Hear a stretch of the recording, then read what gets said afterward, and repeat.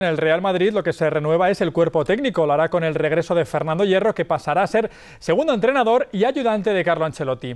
Once años después de su salida como jugador, el malagueño vuelve a la entidad madrileña. Nos cuenta desde Málaga que es la etapa más emocionante de su carrera. Hierro fue feliz, muy feliz como jugador, un triunfador como director deportivo en la federación, pero Fernando es un hombre al que le gusta oler el césped. Lo hizo con la campeona del mundo en la selección y lo hará en el club de su vida, club que dejó en 2003, justo a la vez que su amigo Vicente del Bosque. Muchos le han llamado para decirle que le echaron de menos en Brasil. Capítulo cerrado porque ahora será el hombre de confianza de un Ancelotti que le ha dado la enhorabuena a través de las redes sociales. Casillas, el capitán, también le conoce bien.